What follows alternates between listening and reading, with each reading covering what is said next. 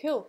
Right, um, hi guys, I'm Alison, I'm from Coventry, and as the Wire guy described where he was, I'm going to describe where I am, because Suraj just said I've got to stand here for the first 30 seconds, so that's the only way I'm going to do it. So, um, Coventry, it's probably 17 minutes from Birmingham on a train, 55 minutes from London on a train, and is um, very lovely. Don't all laugh, it is. okay, cool. So um, I'm just going to talk a bit about um, social, social media, um, our strategy, and some stats, because I like stats. All right, cool. So we've um, been doing social media stuff in Coventry for about six years. Um, the reason why we started doing social media is because we had a shockingly awful content management system, which couldn't let us do anything. And it, even if you tried to make it pretty, it was just awful. Um, and it was just really slow and horrible. Um, so we set up a little Facebook page and a Twitter page. And also, we didn't have a chief exec at the time, and we had outsourced IT. So no one really said we couldn't do anything. It's great. Um, so my boss just said, yeah, give it a go and our kind of social media stuff kicked off. Um, oh no, I keep forgetting we're in Scotland. Okay, right, in Coventry, when we have snow, like even bad that much, it's like the world's falling in. Um, so we had a little bit of snow, and all the kids got really excited that their schools would be shut. Um, so they went on our website probably five, six o'clock the day before they were meant to be going back to school, and they just basically brought down our servers, our website, the lot. Um, and I was pretty new, and I was like, oh my word, what am I going to do now? Because we had outsourced IT, didn't have anyone to contact, our server was slow anyway, blah, blah, blah. It was all a bit of a disaster. So I meet there having my tea, and then I had some friends text me saying, do you know if this school's open tomorrow? And I'm like, oh. Even if I did, I couldn't tell you. I have no website to tell anyone anything. So um, I text my boss, and bear in mind, I was still very new. I said, by the way, I'm going to be using Twitter and Facebook to do all our school closures tomorrow morning. And he's like, You sure? I'm like, Well, I haven't got any choice. So that's really where our social media stuff um, kicked off. Um, we published all our school closures on Twitter and Facebook and got up to about 10,000 Twitter fans, um, Facebook fans um, within two weeks, um, just because our kids wanted to not go to school. So um, there's some of our kids there. Um, that's our Christmas light switch on. Um, I just thought I'd show you some pictures of Coventry because I can. Um, this poor girl with the, the rabbit, though, I feel a bit. I think um, they're all watching um, some guy who I'd never heard of um, singing. A, I wish it would be Christmas every day. Is that is that a popular song? No, some other guy. Roy Wood. Yeah. So all these kids have probably never heard of them, like I hadn't, and they just go, "Oh, amazing guy." Um, so internally, um, we've got social media guidelines. Um, we haven't got a massive strategy. We haven't got a thing that people sign. Um, we have guidelines based on how we're using social media and kind of what makes sense. Um, we had we we just had them in our heads and we just told people. But then legal would get an audited for something and they said they needed something. So I just typed it all up what we normally did and they were fine with that. So we've got social media guidelines. Um, we've got a Yammer group. How many of you use Yammer within your councils? No. No one uses it. Okay, so Yammer's... Um, we but we get on it through our IT. Oh, meanies. Um, yeah, we, we've got Yammer. It's like an internal Facebooky type thing. Only people um, with matching email addresses can get in unless you let them in. Um, it, it does groups, it does a news feed. It's, it's business Facebook. Um, so we've got that within our council. If you've got um, uh, enterprise Microsoft agreement, you get free enterprise access to Yammer because Microsoft have bought them out. So, oh yeah, that's what, that's what we do. So we've just got all our different people doing social media in this Yammer group so we can share what we're doing. And in terms of training, what we have, what I imagine any, who's comms here, who's, who does social media stuff? This main, okay, some at the back, some at the side. Um, you probably find that people come up to you and say, I want a Facebook page, and they don't have any reason for it. Um, so what I do is I drag them into my office, I bribe them with a free Jadu pen. It usually works because we've got no stationery budget, so I was like, free Jadu pen. Um, so bribe them with free Jadu pen. They come in. Um, I don't. I don't actually offer them a drink because I don't have tea and coffee in the office. So I feel a bit mean, so that's why I give them pen. Um, they come in and I say, well, you know, um, why do you want to use Facebook? And they go, Oh, because everyone's on Facebook. And then you just have this whole discussion about what they're actually trying to achieve. And when you work out what, what they're trying to achieve, it's actually not necessarily Facebook they want, it's just a, a promoted tweet or something. But it, it just really helps meeting people one on one. Some people, as soon as you meet them, you know that they're going to be absolutely amazing doing stuff. And you think, right, just make sure you know that whatever you put on social media, if you're happy to see it on the front page of the paper, then go with it. We'll leave you with it. If you want any help, bring us up again. And we've got a few people like that. Um, we just try and make sure that it's not a hobbyist type thing. It's like, oh, I want to do it today, and then they forget about it next week. So we make sure it's built into the team. So if a, if a team says, oh, on our strat- on our strategic plan, our manager says we have to do stuff with Facebook, we make sure that as well as in their strategic plan, they can fit it into their day-to-day purposes. Um, we had one team who worked with 13 to 19 year olds and they had, we have to use Facebook and Twitter. So I was like, well, how are you actually going to do this? And they said, oh, well, we've dedicated one officer for one hour a week. And I was like, what, one hour kind of spread amongst, amongst the week? Going to check it, but then only kind of put stuff on there. No, no, no, we're going to check it. We've got a slot in our diary for one hour a week. And that's when you kind of think, yeah, that's not going to work. So that's why I do one-on-one. Um, what we do have is the council code of conduct, the council IT code of conduct, which covers people's use of social media. So we don't have a specific one. Right, so some more numbers because that's.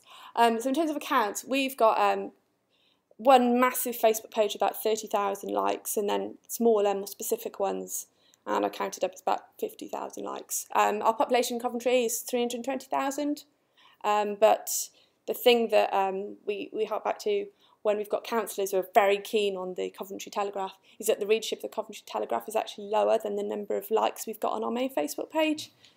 So it's just trying to put the kind of the old school, traditional media against the what they class as new, young, funky thing.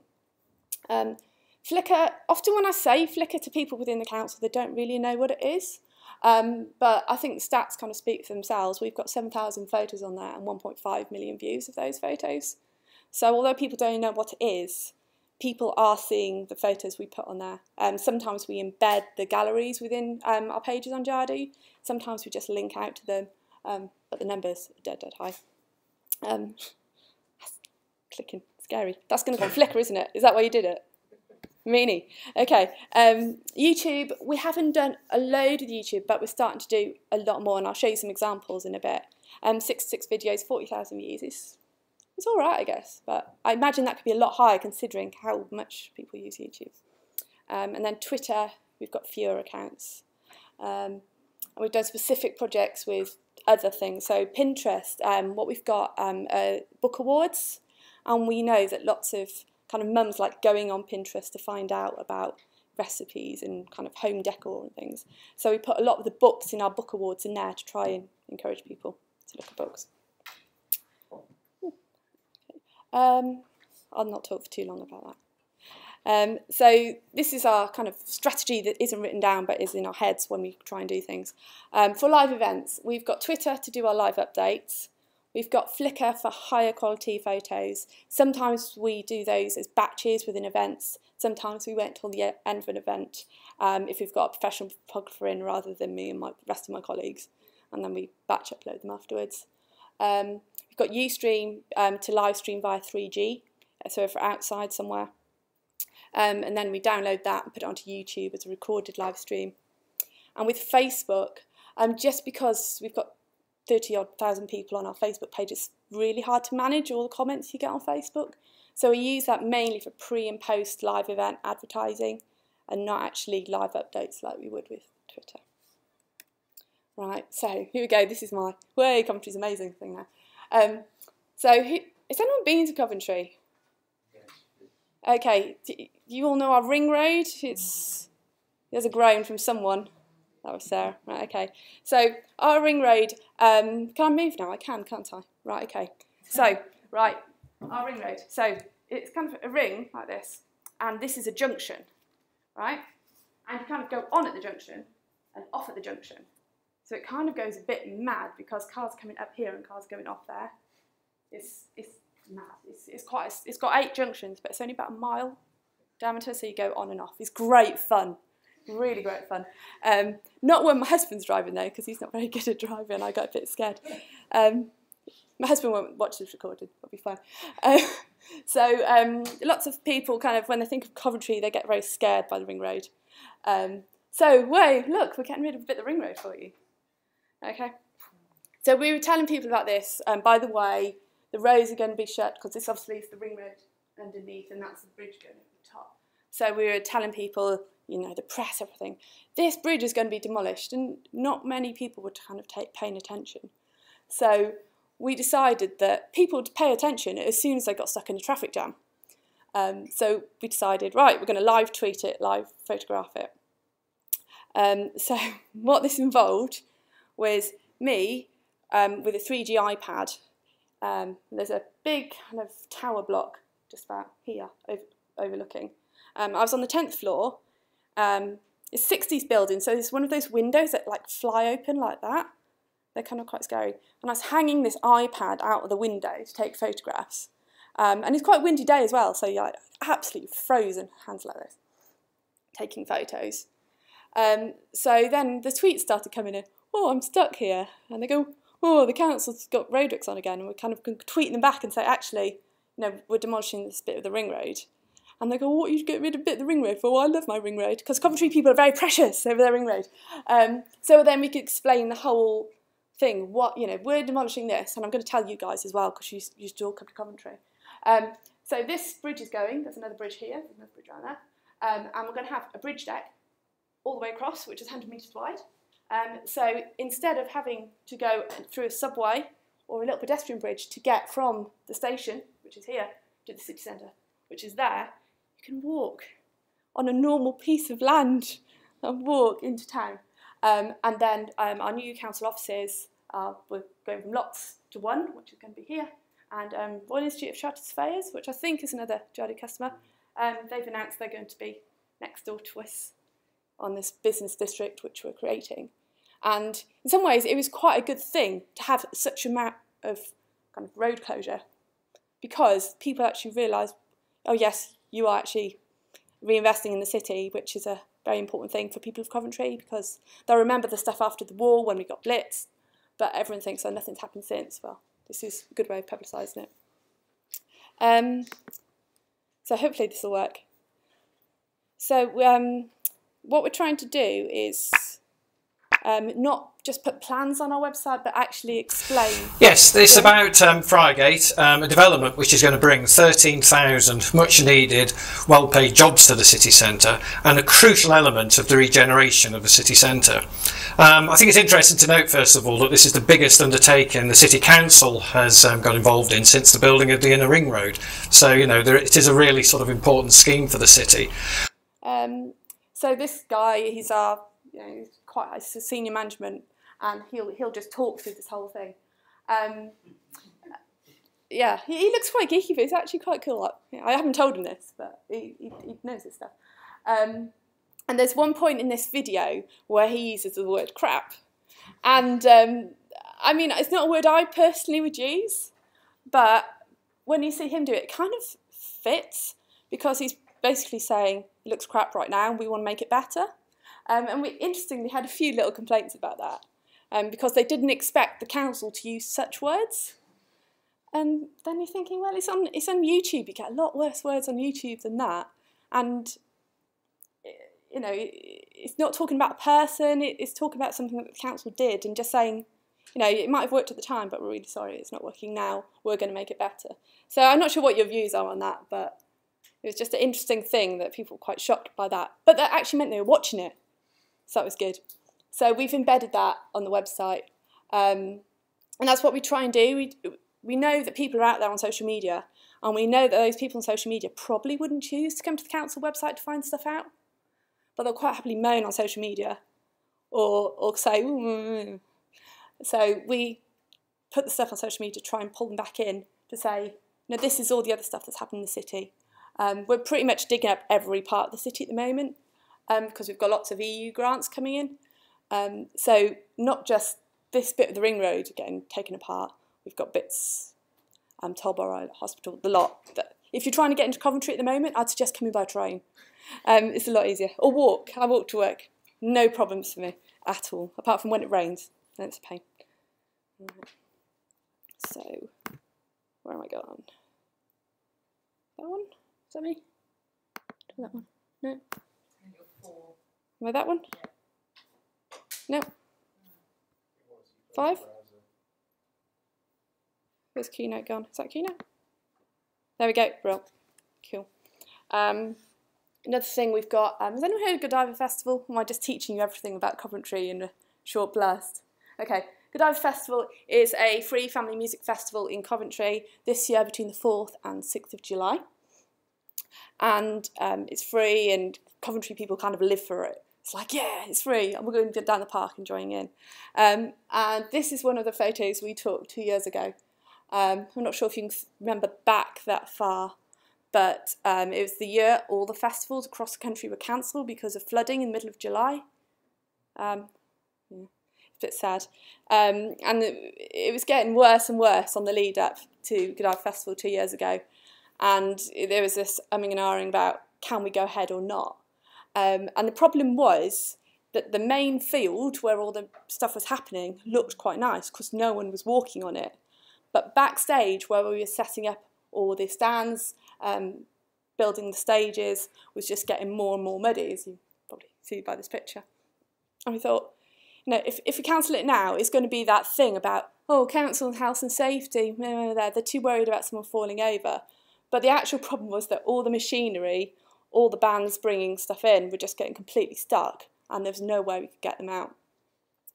Um, so what we did is we went down um, the morning where we thought it might have to be called off. And we just took loads of photos of backstage. So um, this is a caravan stuck in mud. Um, lots of mud, more mud, more mud. This is an entry to one of the tents.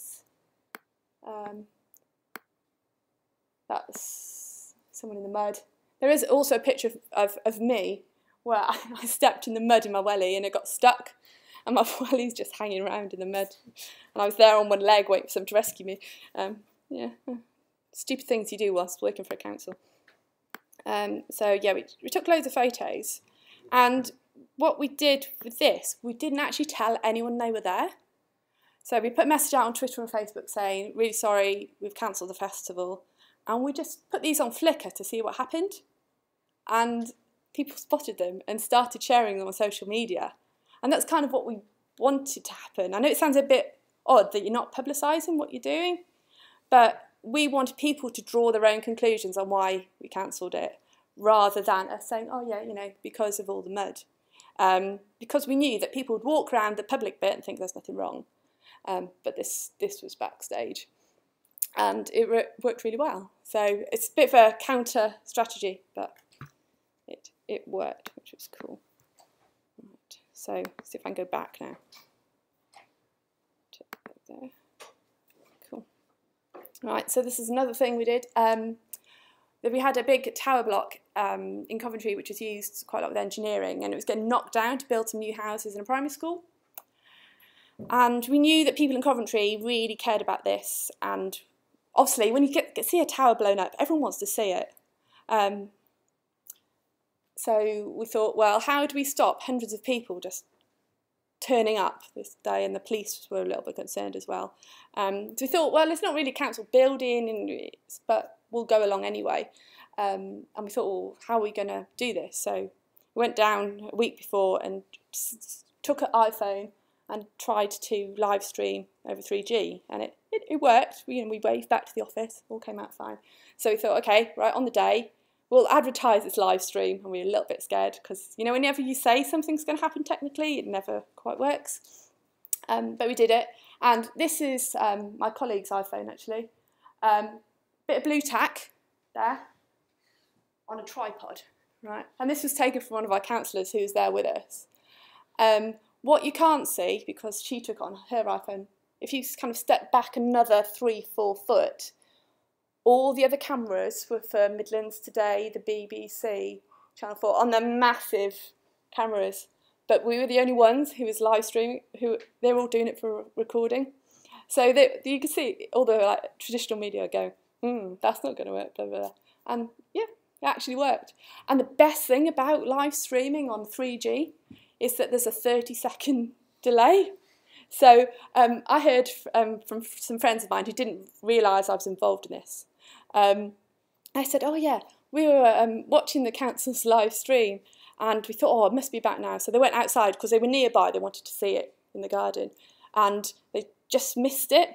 But because there's a delay, the 30 second delay, by the time they went back into their house, it just started happening on their, on their um, internet. Um, what's called? Monitor. Monitor. So that was quite cool. Um, and then again, you can see it, there you go, that tree.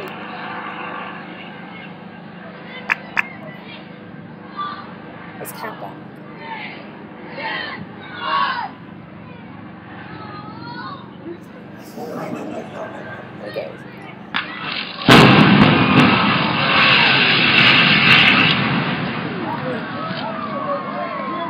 Dusty.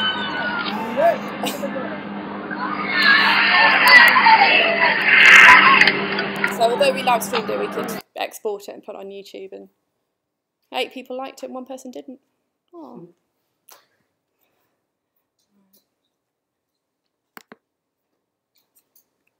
So um, other stuff we're doing, um, starting to do lots more with infographics. So um, we've um, run some training with a, a, infographic person for our data teams, our comms team, our designers, and that's trying to get them all to work together because designers can make things look pretty. The um, data people know the data, but the comms people kind of know what they want to say. So it's trying to get all those three people in the room and think, what do they want to achieve? So we started pre-planning infographics for certain campaigns, um, like the um, budget, elections, road improvements.